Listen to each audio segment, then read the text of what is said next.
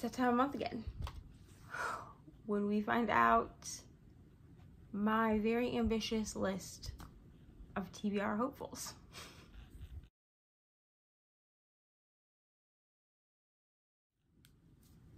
Hello, welcome or welcome back to my channel. I am Neva and this is Reading WheNeva, where we talk all things lifestyle, books, and whatever else I feel like talking about. So today we are doing my August hopefuls for my TBR. So I am currently putting my TBR game on hold. Um, for anyone who is like an OG to my channel, I've been playing Stars Hollow TBR for the last like year, but I am redoing it. It's going to be a whole new game. It's no longer going to be Stars Hollow TBR um, for reasons, but I have a new game being worked out, but it probably will not be premiered until October. So from now until my new game is um, announced, I will be doing hopefuls for the month instead. So we have, I believe I have 23 hopefuls on here, but I could be wrong. I don't know. I will be doing a mix of holding up my iPad with book covers and also holding up physical books. I do have four of my hopefuls that are physical books that I do actually like physically own. The rest of them are books that are either from the library or that I only own via Kindle. For anyone who does not know, I am a Kindle reader, uh, pretty much 100%. I don't know what is on my sweater, but that's interesting. It's the same, it's fine. Um, but I am pretty much exclusively a Kindle reader. However, I do own quite a few physical books because I collect books. People gift them to me. I don't buy a lot of books. Most of my physical books are gifted, but yes, I do pretty much only read on good old Harley the Kindle. So let's go ahead and talk about the 23 books that I have on my Hopefuls TBR. So I'm going to start with the physical books and I'm going to jump through them here and um, as I tell you about them, I'm going to check them off. I have my computer down here where you can't see it that has the full list. And as I talk about each of the books, I will check it off so that I know that I've already talked about it. So the first one that we're going to talk about is Hopeless by Colleen Hoover. So I'm not going to talk a lot about I didn't I'm not going to say that I failed last month. I did technically fail, but because we're doing TBR hopefuls, from now until my new game is premiered. I'm not taking any punishments or anything like that because these are just hopefuls. So, Hopeless was a book that the book besties picked. So, the book besties are Crystal from Bon Book Reviews, Rainy from Rainy Blue Reads, Kelsey from Reads with Kels, and Brittany from Brittany Loves Reading. Those are my four book besties. I, we love them. So, they picked this book. I had them vote between this book and one other book. I think it was Slammed, also by Colleen Hoover. I don't remember. This is part of a Colleen Hoover vlog that I'm currently working on. It's been taking me way too long because I haven't just been binging Colleen Hoover. It's not really a thing I want to do. I did start this. I'm on page 54. I started this um, from the time that I'm filming this, probably like, oh, like I, I started this like a week ago. So I started this like the the weekend that I that we took Ari to my grandma's house because I read a little bit, well, 54 pages of it in the car on my Kindle. So this is Hopeless by Colleen Hoover. This is a contemporary book. Um, I suppose you could say it's romance. It's categorized as romance, but isn't all Colleen Hoover. So we are following Sky and Dean they or Holder. Dean is mostly called Holders about this book, even by Sky. So Sky is a senior in high school who is relatively sheltered. Her mom doesn't allow her to like eat junk food. Well, she does eat junk food, but she doesn't like have um TV or like access to social media. And then and she and she's been homeschooled a big portion of her life. But in her senior year, she decides that she wants to go to regular school. And in doing that, she meets Dean Holder, who is your classic, like, bad boy character. He's also a senior in high school. It's their story. So, that's what this is. Like I said, I'm not very far into this, so I can't really tell you anything about this book at all, but I'm 54% in, and if you want my full and unadulterated thoughts on this book, there will be a Colleen Hoover vlog going up hopefully soon. Okay, so that's the first one. The next one that I have is Rootless by Crystal Zara Apaya. Apia? I'm not sure. Apaya. This is by a black author. Um, and this is about a marriage in crisis. I really do want to read my book of the month books. I currently am not subscribed to Book of the Month anymore because I just keep getting them and then not reading them, and that's very annoying for me. So, this is a Book of the Month book about a marriage in crisis. That's really all that I know about this book, other than that it's also written by a black woman. So, hoping to get to this this month. The next one that I have is These Violent Delights by Chloe Gong. Now, I probably will not be talking about this very month, much throughout the month, unlike some of these other books, because this book is also part of a vlog. My sibling, Erwin, picked this book in May, I think. Um, I had both my sibling Erwin and my sister Anna came to visit us, and when they came to visit us, I had each of them pick, I believe it was like five books. Um, and I haven't started those vlogs yet. So this is my excuse to do that. So this month I do want to pick up these Violent Delights since they picked this one for their vlog and then I can start their vlog. So I probably won't talk about this super a lot this month. Um, I don't do wrap-ups anymore because they don't bring me joy. So I won't talk about them in a wrap-up, but they may make appearances in weekly vlogs this month.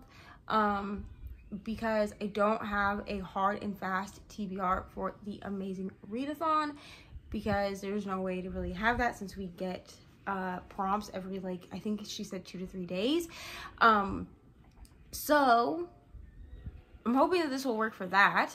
But if it doesn't, it does work for another readathon, which is a full moon readathon. I'll there will be another video probably after this one that covers all of my full moon readathon books that I'll be reading. But this book, I want to read it so that I can start that Erwin Picks My Reads vlog. And the last physical book that I'm hoping to get to this month is Priory of the Orange Tree. I did, tech this is a big book, but I did technically read this already. It would be a reread for me. So the reason I want to reread is because I want to annotate for that purpose and then I will move on eventually to um, a day of fallen something.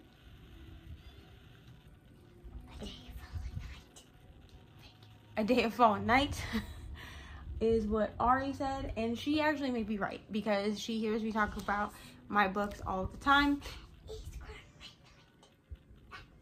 A day of fallen night. Thank you, Ari. So we have Prior of the Orange Tree, which is the first book, and then A Day of Fallen Night.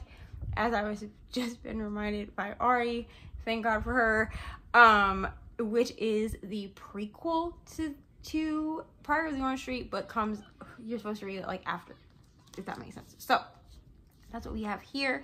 Again, this is a reread for me because I want to annotate. So I will be reading this on my Kindle. I'm not going to read this this way. But the first time that I read this, I was trying to immersion read it. Then I ended up leaving my physical copy at my best friend's house. So I had to just do it with audio. And I don't really remember a ton from this book. So we'll be doing that. All right, now moving on to my Kindle, we are going to go through all of the books. Actually, we have more than 23 because my Kindle itself has 23. So, now, obviously, if these are all of the books that I just mentioned, I also have as ebooks, so it may actually only be 23. I don't, I don't even know. But obviously, we've already talked about the book as a physical book. I'm not going to revisit it, but we are going to move on to all of the books that I have on my Kindle. And yes, so basically how this is going to work because I don't want to have to superimpose all the pictures is I'm just going to hold my Kindle up with the covers and that's how we're going to do it. So the first one that I have is Practical Magic by Alice Hoffman. This is the book that the movie was based on. So if you saw the movie that came out, I think it came out in like late 90s or the early thousands, but it starred Sandra Bullock and Nicole Kidman. This is a book about two sisters who are witches and they go to live with their aunts and learn how to use their magic and all of that. But unfortunately, this family has a curse, which is that um, any man that they fall in love with ends up dying. So that is what this book is about, is that I'm trying to break that curse. I personally love the movie. I read the book in 2020 for the first time. I actually didn't even know that this was a book until 2020. So I read it in 2020, absolutely loved it, and I really want to reread it so that is the first one that we have. The next one that we have is actually the sequel to Practical Magic, which is The Rules of Magic, also by Alice Hoffman. I don't really know anything about this one. I just know that this comes after Practical Magic. I don't remember if this is like a prequel, technically, that comes after, or if this is an actual like sequel. So, but this is the next book in that series. So I want to read both of those. The next one that I have is Horrorstör by Grady Hendrix. This is like a IKEA-esque horror book. This is supposed to be pretty fun. My friend Brittany, I think, said that she liked it. I did grab this from the library. I If I really like this one, though, I will be buying it as a physical copy because it is shaped just like this. Like the way that the book cover looks it's shaped like an ikea catalog and i just think that's so fun. But this is a short one. It's only like less than 200 pages. I think it's 160 something pages. Um 167 is what's coming to me and that might be right but this is very short and it's very sweet and i'm hoping to get through it quickly but i want to have fun with it. It seems like a fun time. The next one that I have is actually a buddy read that I will be reading with my friend Brittany and also my friend from Brittany Loves Reading and my friend Margaret from The Word Nerd, and that is Little Thieves. This is one of Margaret's favorite books. I know that for a fact. She talks about it all of the time. So because of Margaret, I bought this one and the book that subsequently comes after it. And I want to read this book. And look how pretty the cover is because like I want to read this and love it so that I can buy this physically. It's just such a pretty cover in my opinion. So, Little Thieves.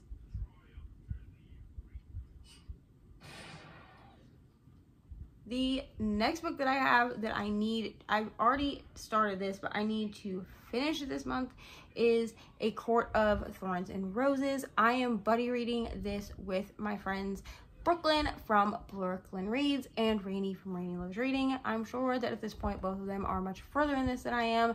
This is technically a reread for me so that I can move on to A Court of Mist and Fury.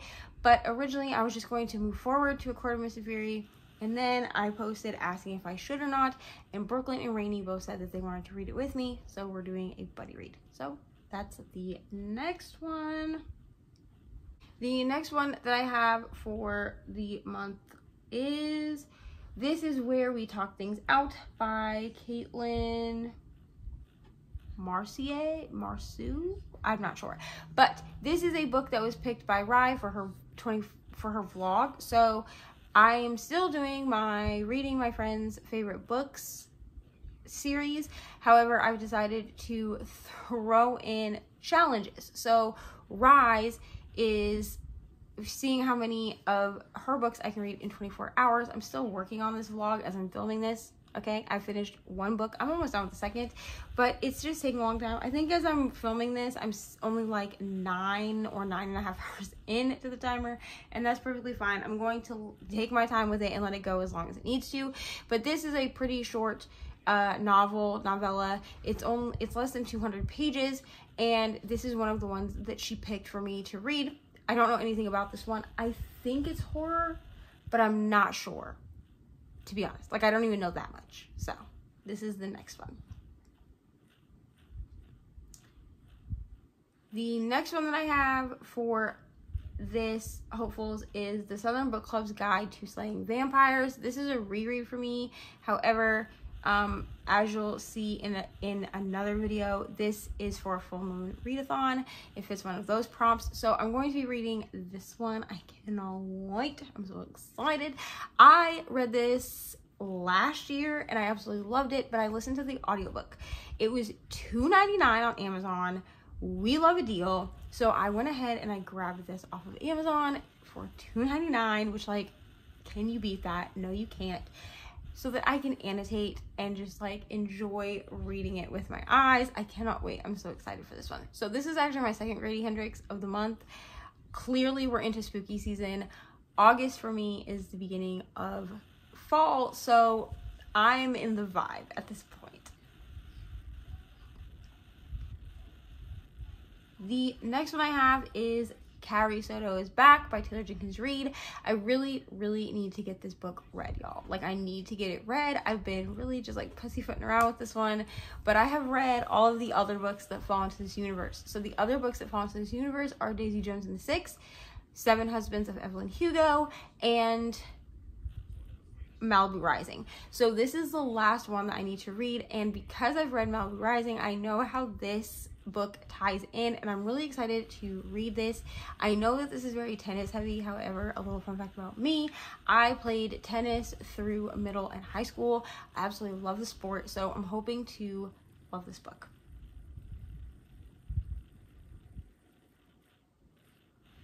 The next one I have is The Golden Hour. I've literally had this book since 2020 on my Kindle. I bought it for a book club that I was part of in 2020 and at that time I was just getting back into reading and I could not vibe with this book. This is historical fiction, but I'm really trying to get into historical fiction and figure out what it is that I like when it comes to historical fiction because I've never been a historical fiction reader. So I'm hoping to read this and love it. I think the last like historical fiction books I can think of that I read were in like middle school and high school. There were these like diary books that were really popular. I remember reading one that was like Anastasia's diary, and those were really popular at the time. I'm probably aging myself, that's fine. But as of right now, um, I'm not a historical fiction reader. So I'm hoping that because this is on my Kindle, I can get into this and I can love it. The next book that I have is The Help by Kathryn Stockett. This is also a reread. This is just like the month of rereads for me. Most of this is because of the Amazing Readathon. So I grabbed a bunch of yellow books off my Kindle. Most of them I've read at some point, but this book I probably haven't read in 10 years, but I absolutely love it and it's one of my favorite movies. This is technically historical fiction because but it, but I love it. So this is about um, black women or the help and I believe it takes place in the 50s. So when black women were still housemaids and things like that for white people, um, white households, and that's what this book is about. I absolutely love this book. It's one of my favorite books of all time. Cannot wait to reread it.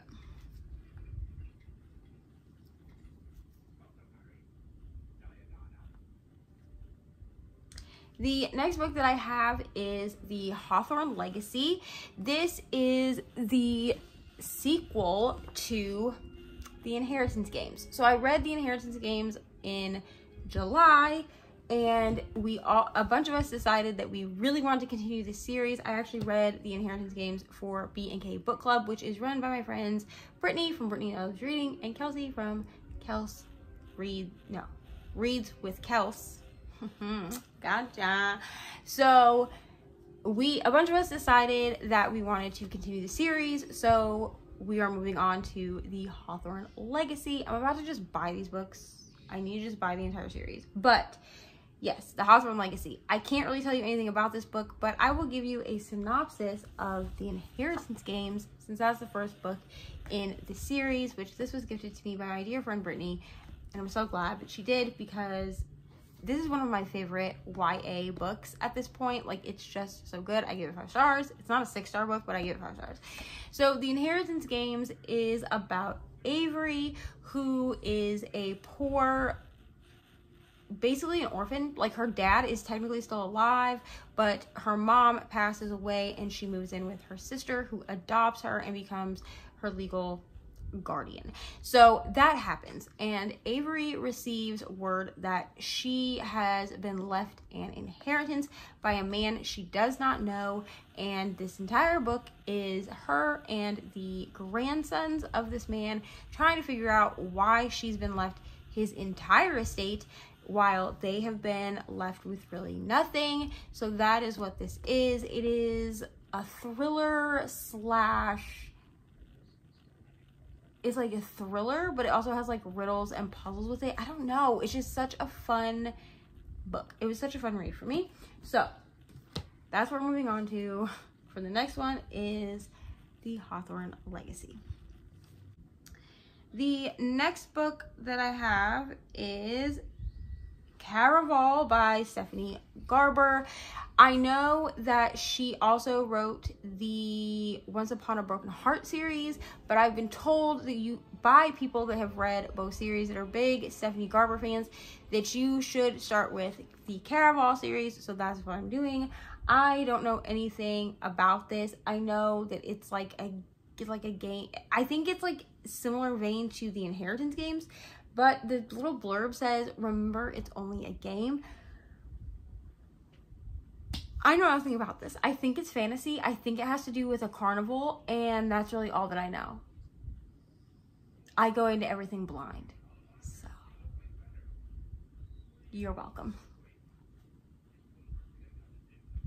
The next book I have is. Okay.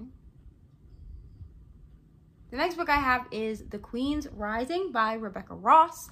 So, in July, for anyone who's been on sprints in July, I read Divine Rivals by Rebecca Ross.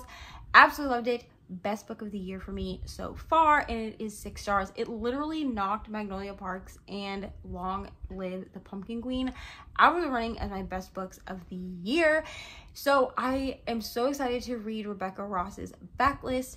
So Rebecca Ross appears to be the queen of duologies, which we love on this channel, okay? Because I am the queen of starting series and never finishing them, but duologies, I'm a hoe for a duology because it's easy for me to read one or two books, even two to three books. Like trilogies and duologies, that's what I need. But I keep picking up series of books that have five to 12 books in them and never knowing when I'll finish them. So we love this. I don't know anything about this. I believe it's fantasy because queens, but that's all I know. So The Queen's Rising, I'm very excited for this one, even though I know nothing about it. So, yay for Rebecca Ross. The next book that I have is Fear the Flames by Olivia Rose Darling. This is actually a book that I had wanted to read in my Jan vlog. However, I only did my Jan reading vlog for a week.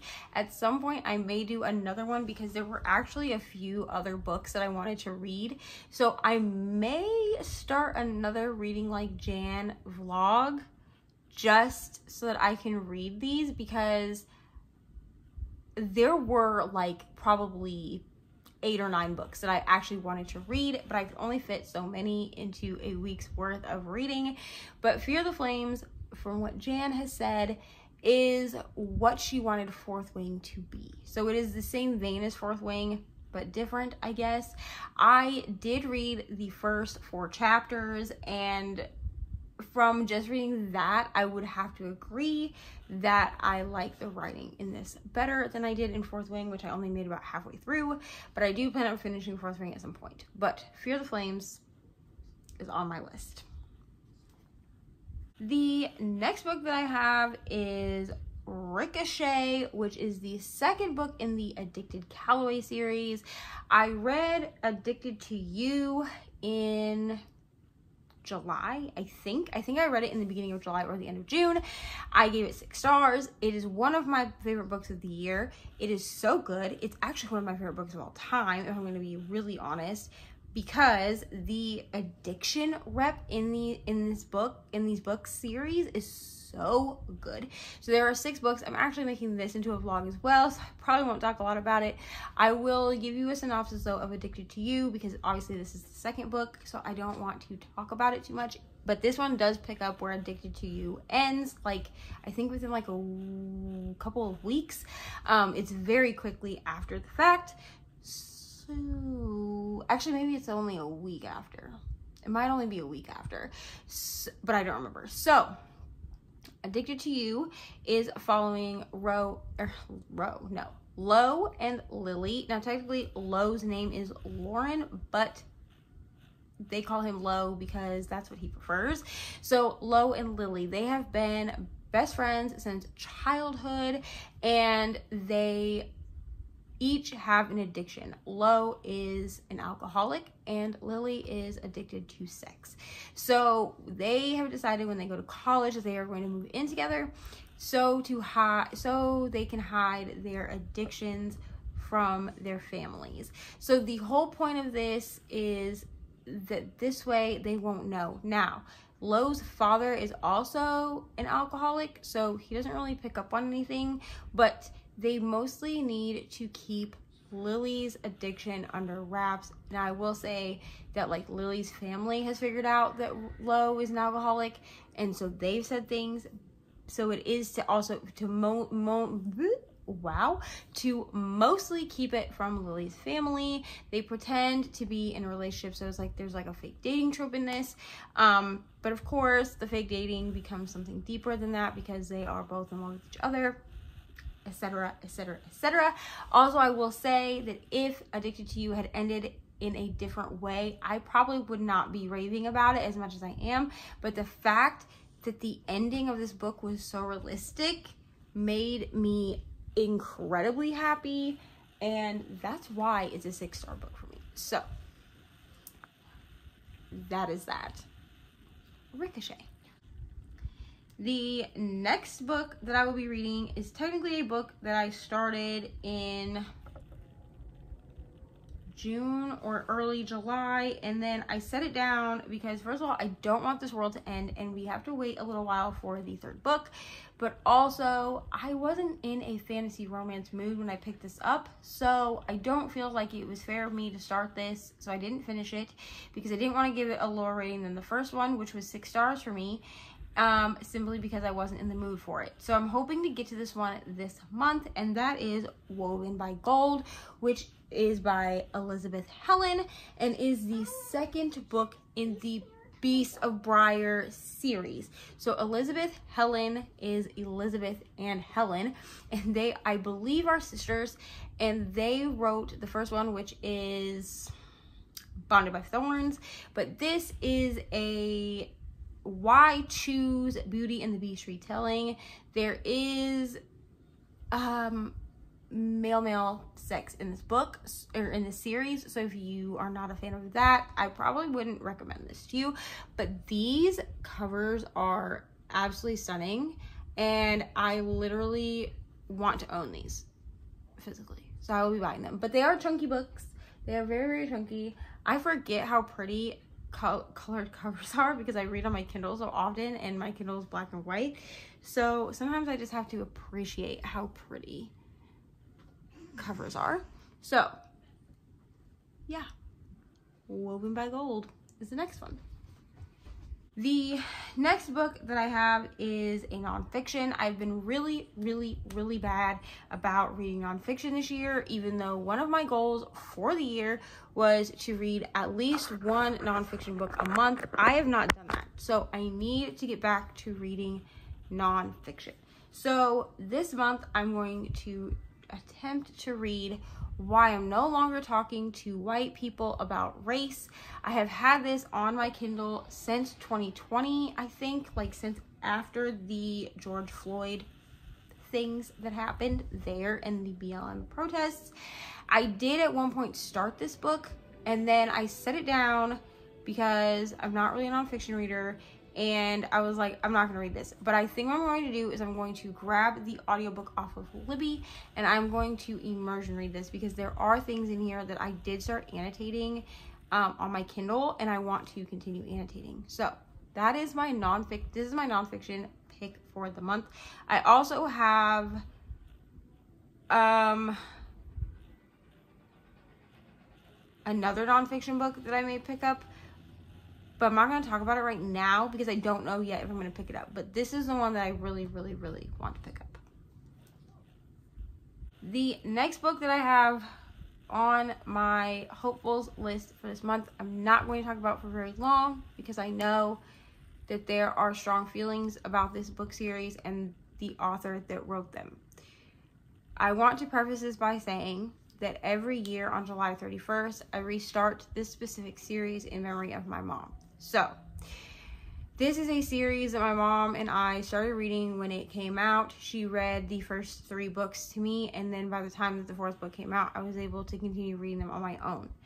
Every year since all of the books in this series were published, my mom and I, starting on July 31st, would essentially buddy read before I knew what a buddy read was, but we would re reread these books together no matter where the two of us lived. So the last time that my mom and I reread these books together was 2019. However, we did not get to finish before she passed away unexpectedly in February of 2020. So, I want to preface this by saying that that this book series for me lives on so that the good memories that my mom and I shared, which there were those even though there were also not so good memories. This is one way for me to keep the good memories alive. I am not going to cry on here, but I do acknowledge the problematic things that are or could be depicted in this book series.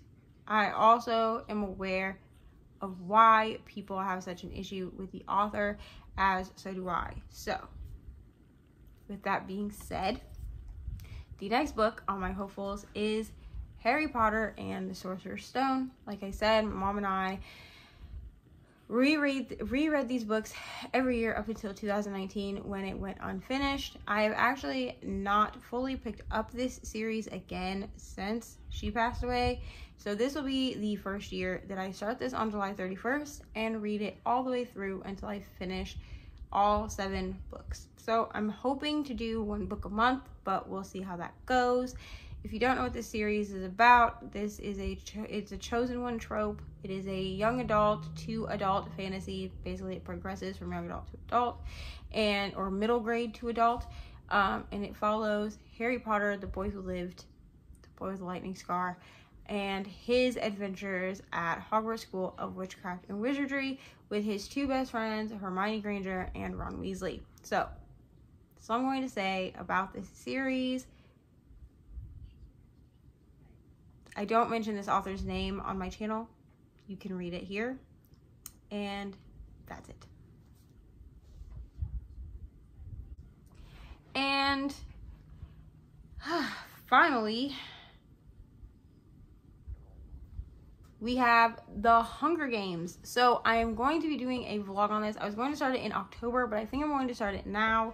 I don't know when it will go up, but the movie for the Ballad of Songbirds and Snakes, which I read in 2020 and gave 2020 or 2021 one of those two years, whichever year it came out, I read it and I gave it five stars. I know that that book is pretty divisive on whether people like it or not, but I've decided that I want to reread the entire series, all three of the original books, plus the Ballad of Songbirds and Snakes before the new movie comes out in November so that I can watch it and review it and love it. And I cannot wait, you guys. I cannot wait. So that's what we're doing. I'm going to be rereading The Hunger Games I don't know how much I will be talking about this book in vlogs, like weekly vlogs and stuff, simply because this is a book for me that is um going to be in a vlog. So I absolutely love this cover. It's absolutely stunning.